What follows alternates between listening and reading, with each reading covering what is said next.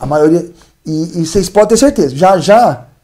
Escutem, escutem, porque eu nunca vi uma, alguém me mandar alguma matéria desse assunto que eu vou falar para vocês. Eu nunca vi.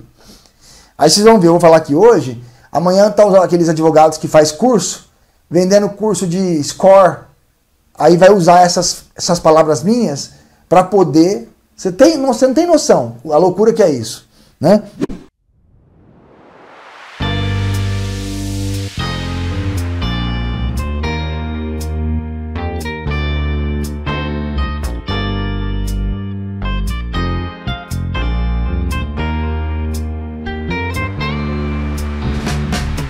Como vocês sabem, o, os bancos, as instituições financeiras, elas têm lá consigo o rotativo, que você pode fazer o pagamento 30% do valor da fatura e refinanciar o restante.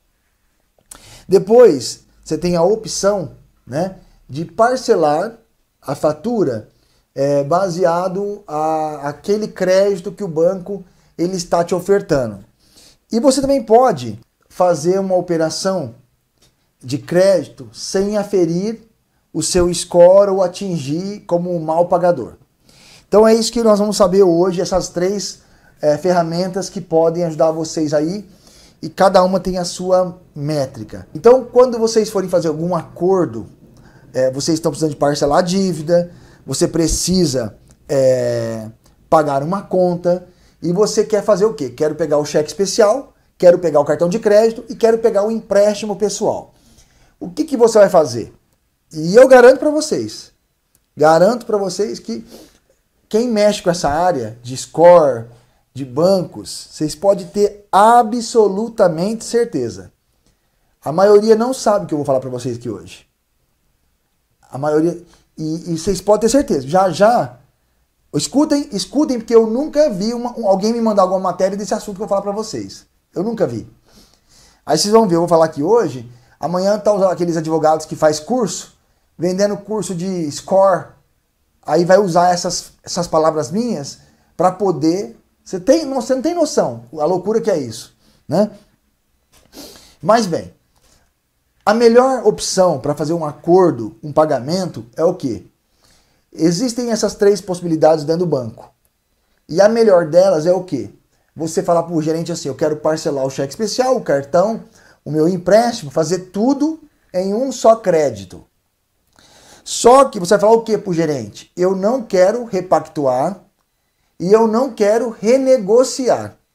Eu quero uma linha de crédito para quitar toda essa dívida e aí sim eu ficar devendo esse novo, esse novo crédito. Ele vai entender o que você está dizendo.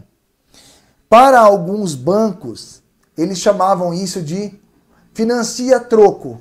O que é financia com troco? Você pegava tudo que você devia, o banco quitava com ele mesmo e ele te voltava um troco. No passado, ele voltava um troco a mais para você fazer esse financiamento. Então, por exemplo, você deve o cheque especial 10 mil, deve no cartão 10 mil e deve no empréstimo 10 mil. Então eu pegava esses 30 mil reais, ele fazia uma análise do seu crédito e ele falava assim: ó, eu consigo fazer para você em 60 parcelas de 150 reais. E eu te volto um troco ainda de 2 mil reais. Porque o banco quitava a dívida do cliente dava um desconto nos juros e sobrava um dinheirinho para o cliente gastar. Os mais antigos vão lembrar disso. Os novos talvez nunca viram isso. Então, o que acontece? O que, que você vai falar para o gerente? Que você não quer fazer repactuação, que você não quer fazer acordo, que você não quer pagar rotativo, que você quer fazer o quê? Eu quero que você me é, quite essa dívida para mim, quita esse valor com crédito, é um novo crédito, e para o mercado financeiro, para o Banco Central, para os birôs de crédito, para o mercado a, fora daquele banco, da instituição financeira, eles não vão enxergar você como uma pessoa que está devendo atrasado, porque o gerente vai quitar a sua dívida, o gerente vai baixar toda a sua dívida, ou seja, é como se você estivesse pagando os atrasados e os, os em dia, antecipando as parcelas. Você vai zerar. Você vai amortizar todas essas dívidas. E aí o que vai acontecer? Para o mercado financeiro, eles vão enxergar você que você quitou a dívida antecipada. Olha que luxo! E vai começar uma nova fase do crédito que você quer. Você pegou e juntou ele, né? E neste caso, você não vai aparecer lá nos birôs como vencido, devendo, é, prejuízo, atrasado, ciclo de 30, 60, 90, 120, 150, 180 dias. Você não vai aparecer desse jeito. No relatório, vai enxergar que você está em dia com a instituição financeira. Entendeu? Essa é a melhor possibilidade que tem. Todos os bancos são obrigados a fazer isso? Não, porque passa por análise de crédito. Então, dessa situação que eu estou falando, a, a melhor regra é essa. E a, a situação melhor é essa. Porém, ela tem uma análise de crédito. E o banco pode negar esse crédito para poder quitar suas dívidas. Tá? Eu estou falando do próprio banco, tá? Não estou falando de você levar para outro banco. Ah, o banco X comprou minha dívida. Não estou falando disso.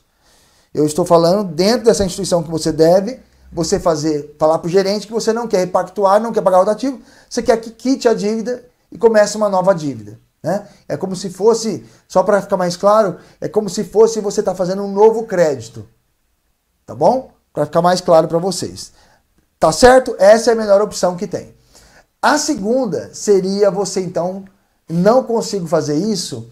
A segunda que também não leva você ao prejuízo e não causa risco de crédito e não causa ao mercado que você não pagou a conta é o rotativo. Porém, o rotativo ele pode chegar em você e o rotativo ele pode começar com os juros. Se você for alta renda no cartão Black, enfim, dependendo do seu banco, ele pode começar com juros de, de 8% e chegar a 550% ao ano.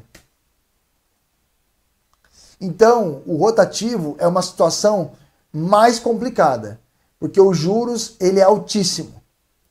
Né? É a pior situação é o rotativo. Mas tem gente que precisa pagar, então vai usar o rotativo naquele mês, para o próximo ele está mais tranquilo. Então, quem usa o rotativo nessas condições também, eu não vejo nenhum problema para um mês, para dois meses no máximo. Tá? Passou disso, já é risco para você continuar pagando rotativo. Tá? Porque o rotativo, como que ele funciona? Ele pega o valor total que você deve, faz 30% do valor, 30% você tem que pagar, que é o mínimo. E o restante que sobra tem os juros de 13,5%, 15%, 17%.